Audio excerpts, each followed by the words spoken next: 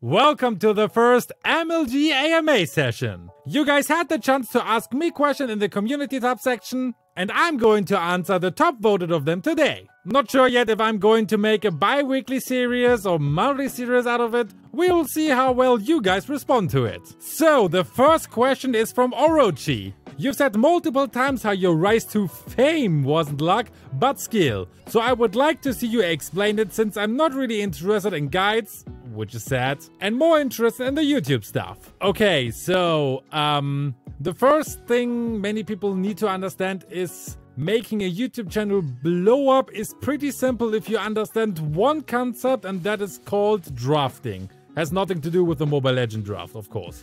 Um, the example I could use here is when you're driving, I don't know if you ever seen um, pro cyclists driving a race. They are usually not driving alone, there's always someone in the front and many people in the back. They are driving behind that guy because they don't have to face all the wind, they're drafting behind that first guy. And this is basically the same thing what you have to do on YouTube if you want to blow up a channel. Um, this basically means like there's one guy who's running in front, who's already very, very successful, who did some amazing content, and you're not going to steal it, of course, but you're taking your ideas from here and from there and from there and you mix them all together and make your own spin with it to create something new. So, um, when I started my channel first, I was doing a lot of guide, hero guides, because I thought, okay, there are not so many nice hero guides out there, especially none with voiceover, so people can find my channel when they,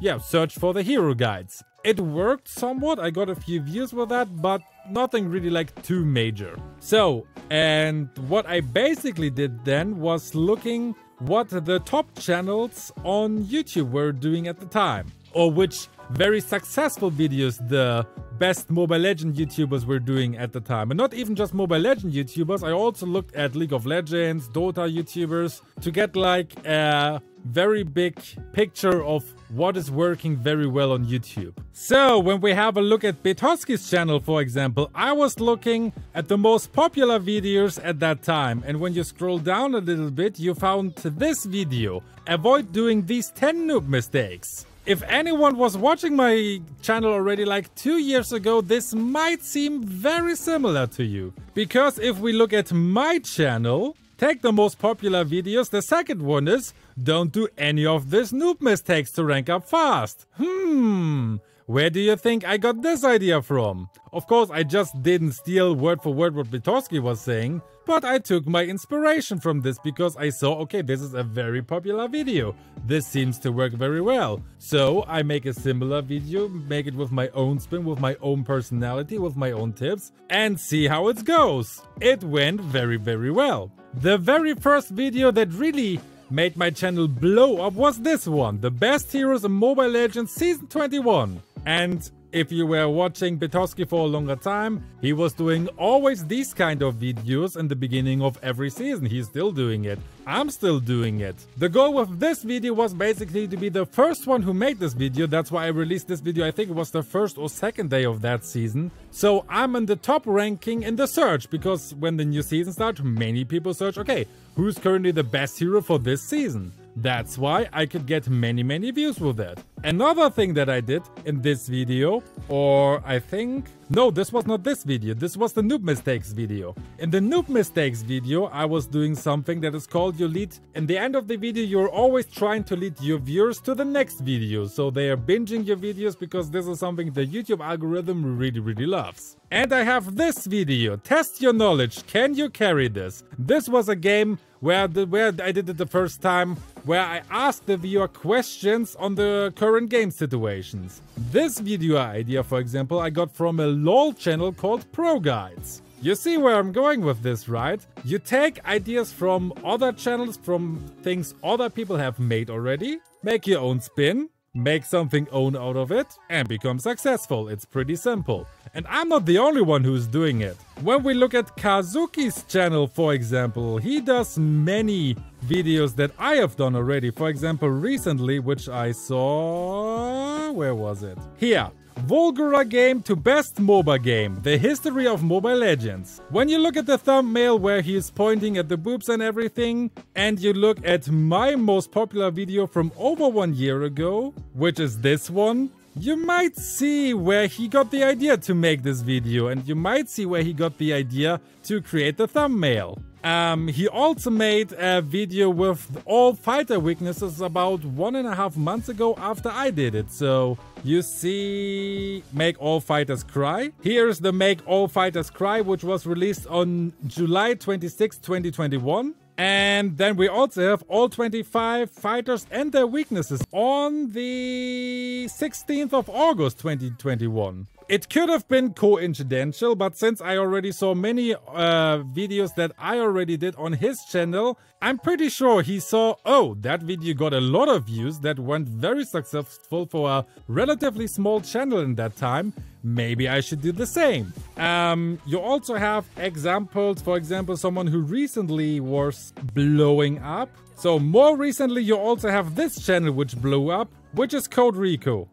And here, for example, every XP laner should do this. XP laner guide, a jungler guide, a roam guide. Hmm, seems very familiar when you ask me. When I look at my channel, I have the Ultimate Marksman guide, I have the ultimate jungler guide. The ultimate, okay, in this case it was don't do this 10 mistakes, but it's basically also a fighter guide. And since he's a subscriber of mine, I could imagine where he got this idea from. He's doing the perfect example of drafting right now. Which is, by the way, totally fine. I'm not saying that it's forbidden, that you should never take anything from anyone that anyone have done already, because then almost all of the videos that I did, I couldn't do any of them because everyone already did gameplay videos. Everyone did guide videos. Everyone did lore video. Okay, lore videos not so much, but yeah, lore videos I could have done maybe, but other than that, I couldn't have done anything. So there's nothing wrong with getting ideas from other channel and make your own spin with it. You just have to see what to take. You shouldn't take very un unsuccessful videos as drafting videos, of course. You should take something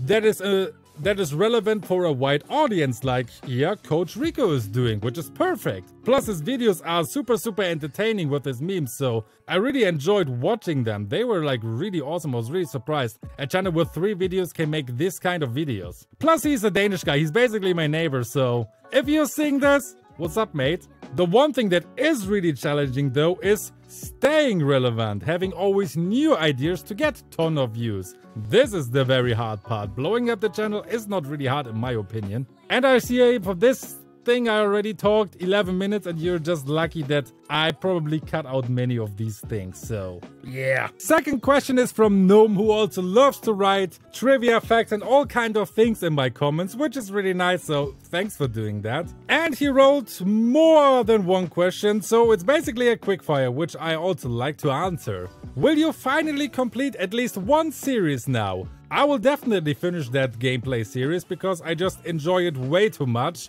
And although the views are not so good if you compare it to my guide videos, I'm just having a really fun time doing them and I really love to see the videos after an editor was going over it and yeah.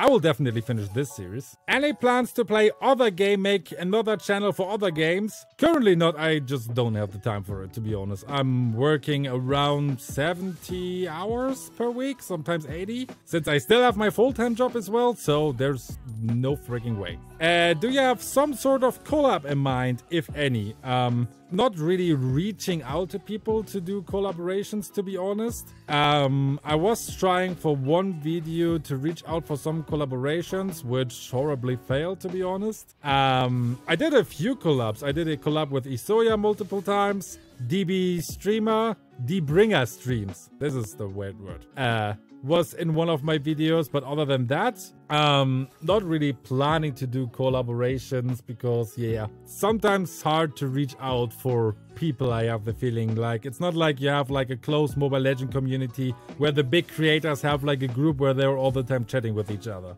Um, what is your opinion on this skins in Mobile Legend Adventure? Since I'm not really playing Mobile Legend Adventure, I have no freaking idea. The one time I saw it, I just saw a bunch of big melons. I think I'm not allowed to say the other word. Um, any suggestions on how certain things should be changed within ML? like in-game chat censorship or matchmaking ideas. My idea that I'm pitching since over two years, which I was already pitching to Moonton as well multiple times, create a functioning guide section, like teach the people how to play your game inside of the game, like you have so many people who just enjoy playing the game, but they don't really know how to play it correctly. And they often don't really understand why their allies are calling them noob because, yeah, they don't know it any better. They play the game for fun because probably they are casual players. So make a section which is very easy and accessible to make it easier for people to learn the game.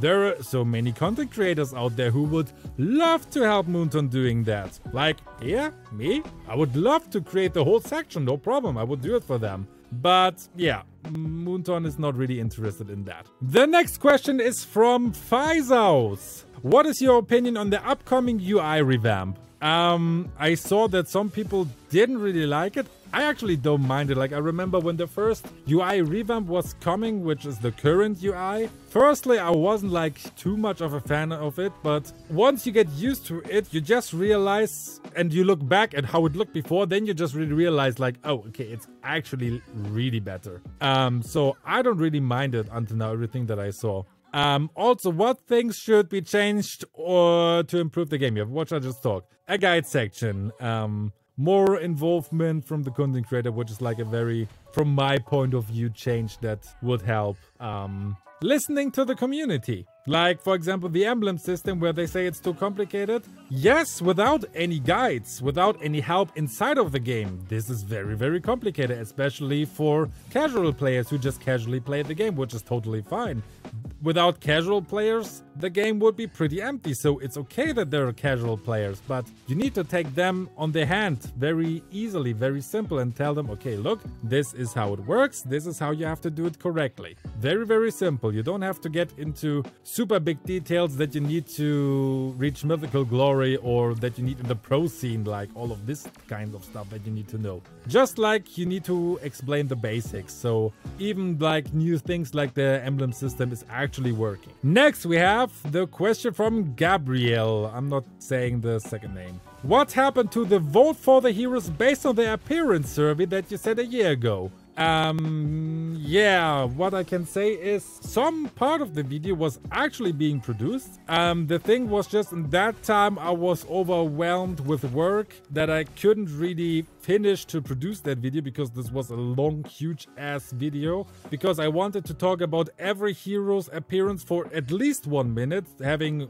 like, I don't know how many heroes we had at that time, 115 heroes, so almost two hours talking with a script, not just freestyle with the script. That was a lot, a lot, a lot of work and I wanted to publish also normal content. So this was basically a task. It was too much for me, although I think this idea is still very, very good. Same thing, for example, if anyone remember, this goes for the hero guides that I wanted to make. Um, I got some hero guides even finished, which were, many of them were really, really awesome. Um, but I could never really go into production simply because I didn't really had the time in this time and I didn't had yeah, I can also say I didn't really had the motivation in that time because in that time I was really thinking about okay what do I want to do do I want to keep pushing for YouTube which I'm doing now which you can really see I'm really pushing my YouTube channel now because this is something I want to push really further to maybe one day that I can actually do this as my regular job. Um, but in that time, I was really questioning it and was not in the best mental health state, uh, which is why I couldn't really keep up with it. Uh, also, a reason why, for example, I stayed away from the Discord, from the Discord server because this was taking so much time that I couldn't really focus on creating content. And that's a reason why I really stayed away from the Discord server because this is a distractions I, I couldn't take at the time and still cannot take at the time. I need to stay focused the limited time that I have because I have a family, I have my full-time job. I only really have my limited time that I have to organize and in this time I have to be as productive as I can for my content to make my YouTube channel work. So um, that's why many projects that I planned didn't work out as I wanted them to be. Also because I underestimated how much work even all the organization can be with so many people because I, have never done that before, of course. So um, that's why also like that's becoming a running joke. Will you finish a series? Yeah, this time I will finish a series because I was before I started the series, I was thinking, okay, how can I make a series work with the limited time that I have? Okay, I just record a live gameplay. I'm not analyzing any matches, pure live gameplay. That works easily. I can produce an episode in about one hour. I, am doing some cuts here and there. Some heroes I have to train, like for example, Gusion is coming soon. This hero I had to train because I never really used Gusion, and I didn't want it to be the complete worst noob in the world with him as well. Like with Dyrroth, for example, who I never really played Dyrroth. I jumped after two matches into that, missed all my ults. Yeah, I never really played it before. What do you expect? I'm not a Mobile Legend god, you know. So, um, but this is also a learning. Like the heroes I did didn't really play, I have to train a little bit more to be good and not to trigger people. Um, and yeah, I just ran way too far where I didn't even wanted to go. But now you know what happened to all this series and yeah. Next question is from Safik. I hope I pronounced that correctly. Which is also the most voted question, so you won question of the day. Mm, you're getting a virtual cookie. Uh, can we see the whole family playing MLBB while you try to manage them and add some puns every time something bad happens? Um, so, as you know, I have a wife who was playing Mobile Legends. Currently, she's not really playing Mobile Legends. I have a daughter who's playing sometimes Mobile Legends versus the AI. Um, one interesting... Actually, this comment made me think of an idea. Um, in July, I'm actually flying to the Philippines to visit my Filipino family. Um, since my wife has seven siblings and they also have already children and all kind of stuff. So there will be a very, very big family gathering and many of them are also playing Mobile Legends. Um, so I already had the idea that I will, um, how to say it in English, uh, put their screens on the computer screen so I can see what all five of them who are playing are doing right now and that I can basically live coach them what they're supposed to do. I also had the idea of playing a 1v5 against them to destroy them with Wanwan and all kinds of funny challenges that we could do that will be very different from my usual content, but I think that will be very, very fun. So there's definitely something going to happen in, yeah, July to August. The next question is from G at. What is your favorite hero for each role? Except Wanwan. Okay, except Wanwan. Okay. Um, not going for fighter. Marksman, I go for the lane. So let's start with the XP lane. I'm struggling a little bit between Ruby and Badang, but since Badang is still the most played hero in my account, I would think I have to say Badang, also because he is, in my opinion, still good, decent XP laner, and yeah, he is still a very, very fun hero. So I would say Badang for the XP lane. Mid lane is definitely Kadita, because she's the hero I spam the most in the mid lane, because my wife is playing mid lane usually, so I would even say mid lane is my weakest role. Simply because in the first, yeah, one and a half years where I played Mobile Legends, I was never playing mid lane because this was the main role for my wife. As Roma, I would say it's Atlas simply because I really, really like his